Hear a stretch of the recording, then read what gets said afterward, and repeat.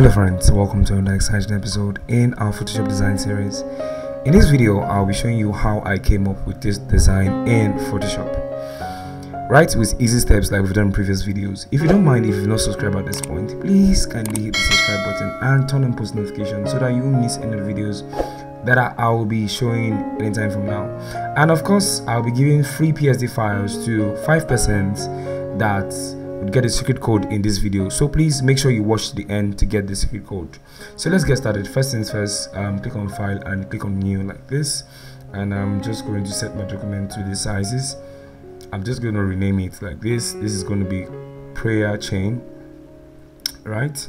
So um resolution is at 300 RGB color and everything else here stays the same right? So when you get into Photoshop like this the first thing you want to do is click on um, gradient and um, what you want to do is click on this first one and click on OK. So it's going from a yellow color to um, white. I'm going to use um, okay so I'll use radial then click on reverse. And I'm just going to scale this up. You can see that this is like different from what we've been doing in our previous videos. That's why it's very very important that you don't miss any of the videos. I'm going to drop in so convert to smart object like that and click on filter and click on noise add noise to it. Not too much. You don't want to go overboard with this right? Click ok. Make sure you're following my settings right? So right about now i'm just going in. I'm just going to bring on my source file. The link to my source file is in description of this video. The link to the files is always in the description of every video right? So create a mask. Make sure you're the black. Select the brush like this and um, gently we're just going to go over this and um, double on this. I'm going to go over to the bottom too and I'm just going to reduce like this. Okay so when I'm done um, with okay um,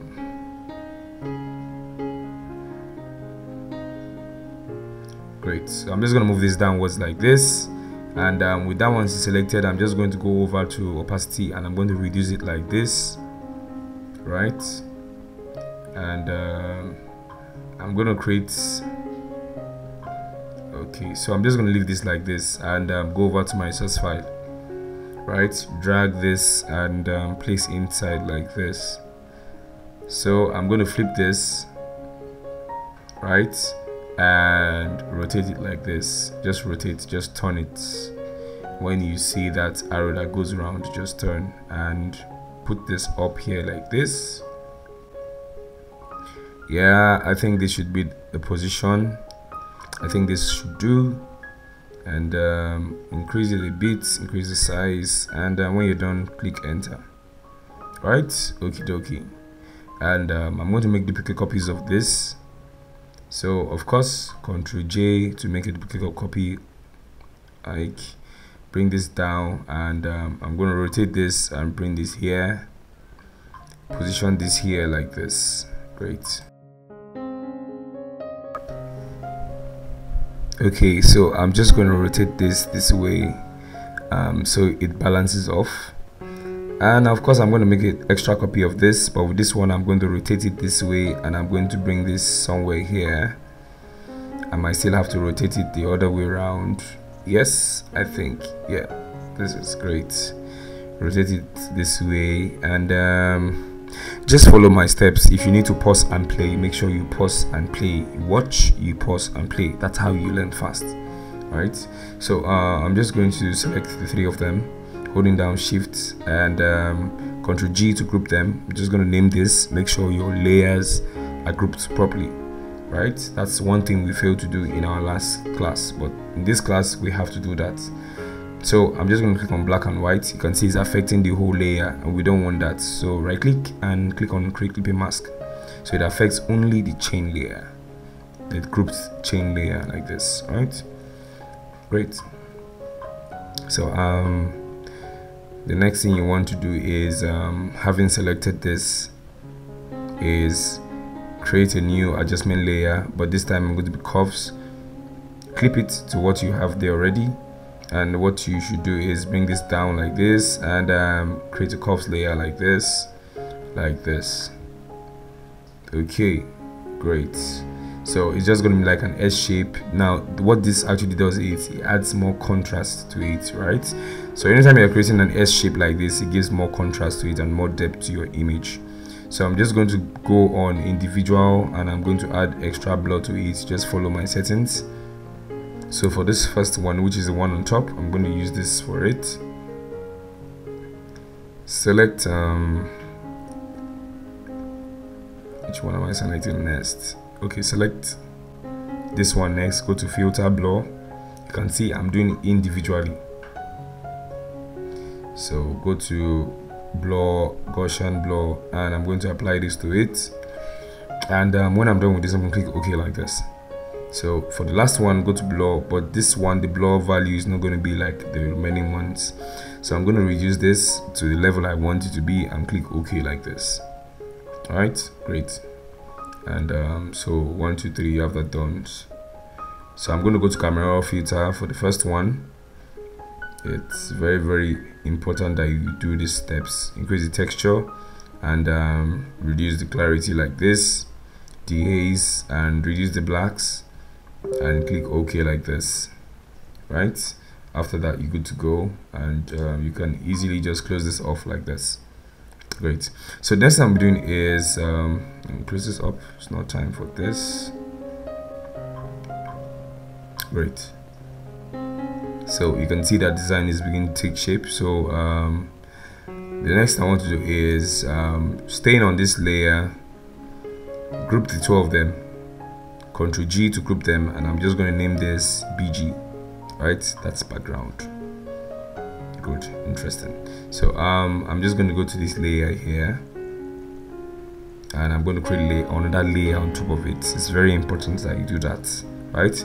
Layers are one of the most important things inside of photoshop. So one thing i'm going to bring in inside is before i do that i'm going to set my foreground color to this color. So use that. So that's my foreground color.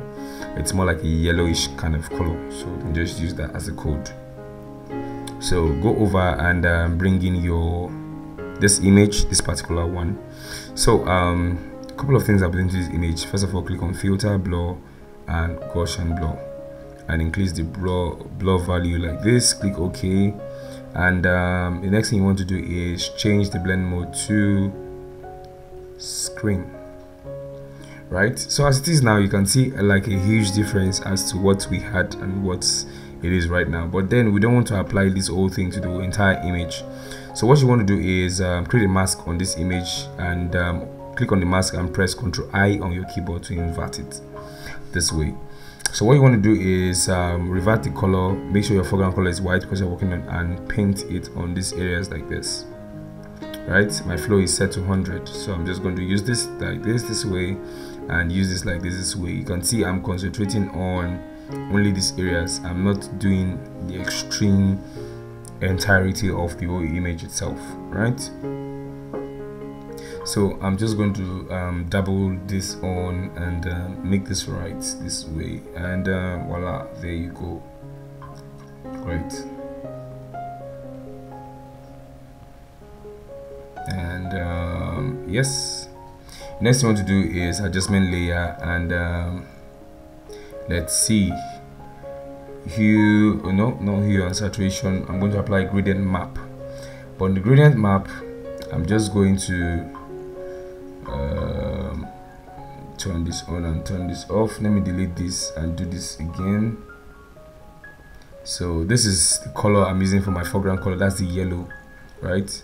So let me turn this on. So what i'm going to do basically is just pick this color here like this right? Which i used for the initial background. I'm going to change the blend mode to soft light this way. So you can see the way everything blends in. So i'm just going to reduce the opacity like this and I'm going to keep it at um, I think this value is fine. So before before and after. Right good. So we're good to go this way. Right great. Okay so having done that. The next thing I want to do is um, let me see. I'm just going to put this at 20% duplicate it and um, I'm just going to change this yellow to um, something else. Maybe a red color like this can use my values that I used. Click ok and click ok. So the essence of this is just so we get a nice blend of yellow and red like this. So just going to be this way. So i'm just going to be using um, the soft light also for that. So you have two gradient maps like this. There's something you're not getting please feel free to rewind this video and um, go back and replay and play again so create a new layer here and what I want to do is go back to my text tool and I'm just going to type what I want to type. So it's going to be prayer and um, um, I'm just going to change the font that I used. This is the font that I use. For most of you that, that always ask me for the font that I use please make sure you pay attention to seeing the particular font I use in the video please. It's very very important. It shows that you are actually attentive watching the videos so with this done what i want to actually do is um, come over here where i have VA and reduce the spaces in between like this. And of course i would want to make it bigger this way. And um, what i want to do is um, um, change the color. So i'm going to select the color from um, the chain here like this and um, make it darker a little bit and click ok right? Make sure you're selecting your colors from everything around your design right? So i'm going to make this minus 75 the space is in between. And i'm going to press ctrl j to duplicate this. I'm using my arrow to bring this down. That's the down arrow on your keyboard. And double click on this and i'm just going to make this chain. So it's going to be prayer chain so I'm just going to adjust this and um, make it better this way. Like this right? So I'm also going to go ahead and um, add some extra text after increasing this. Yes after increasing this. So I'm just going to create a new layer. And um, and I necessarily don't need to read in layer just go to what your text to and type something else. I'm just going to type this. And um, yes I'm just going to type this. I'll just change the font. This is the font I use for this. I'm just going to type this out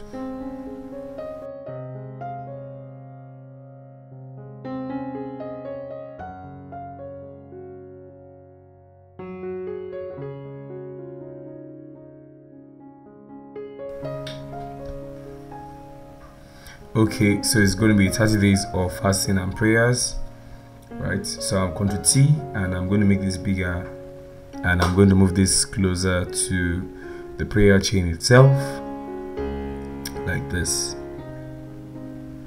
Right? Great. And um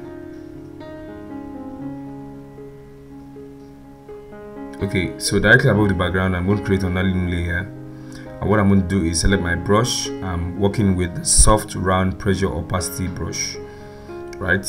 So I'm just going to create some um, extra white glows here.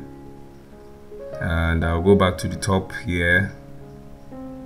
And um, position this well. So make a duplicate copy of this ctrl J and I'm going to use this type something else. This should be the dates right? So it's going to be first of first to 30th of September. But then I would like to use a different font for this just so it's quite different from what I have before right? So I'm going to use this. So it stands out from what I have in the composition before. Okay?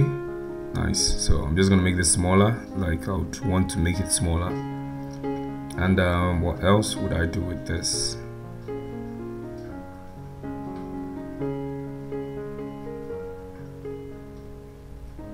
I'm just going to go over and bring in the church logo itself. Bring this up here. Of course it's white so we'll have to change it to the color that we have currently on the prayer chain. So right click and click blending option. And um, what you should do is um, inside here click on color overlay make sure this gray option is active and you can see that's the color. So I'm going to click this and um, click this once and um, click this once and you can come here and sample the color of the chain to use for the logo. So most times this is what I do when I need to change the color of the logos that I have and all of that. So just click OK and voila there you go. So you can make this bigger just a little bit like this make it a little bit bigger like this move it upward and uh, click enter like this. Okay so um prayer chain 30th of 30 days of fasting and prayers first to 30th of september. Create a new layer above this and um, create a clipping mask. I'm working on the prayer text now. Now with your foreground color is set to that color that we set. I'm just going to do this and put the blend mode to screen click on chain itself create new layer on top and right click create clipping mask. And i'm going to do the same thing i did to prayer for this and like this. You can see how much more difference this these little changes are actually contributing to the whole entirety of this design. All right so um right so this is all we have. Okay okay so like i said this is all we have. So um we're the last phase of adding some finishing touches to it. So follow along while i also do that too. So what i'm going to do is um, control alt shift e to make a snapshot of this. Then right click and click on smart object right? So what you want to do is um, it's a smart object now. So go to filter and um, filter camera filter. And when this loads up we're going to make some couple of significant adjustments to this um, part of this design. So the first thing you want to do is um, go over to dehaze and um, add some extra nudge up to this. Texture increase the texture like this. And for blacks reduce the blacks like this reduce the shadows like this you can see how much more difference is actually making. Right increase the clarity. I love this part. Right and um, what else would i want to do? Increase the temperature like this or you can either leave it where it is exactly. Uh, contrast stays the same way. Okay i'm to bump temperature up like this so contrast i'm just going to go all the way up like this. And when you're done just click ok. So you can see the major huge difference between all of these things that I've done now right? So if you want to check this um, so I'm just going to create a color balance adjustment finally to this part. And I'm going to just add these settings like this. And um, increase this there you go something just came across the screen. And um, move this to this part. And I'm also going to increase it this way. You can see how much more difference this is making. Right? And um, right. I think that's great enough. Great. Alright guys. Like you can see now this is how I ended up creating this flyer in Photoshop if you've enjoyed my feed my videos um especially this particular video please don't forget to give it a likes and um, give it a like if you liked it and don't forget to subscribe. I'll see you in the next video. I love you all. Thank you very much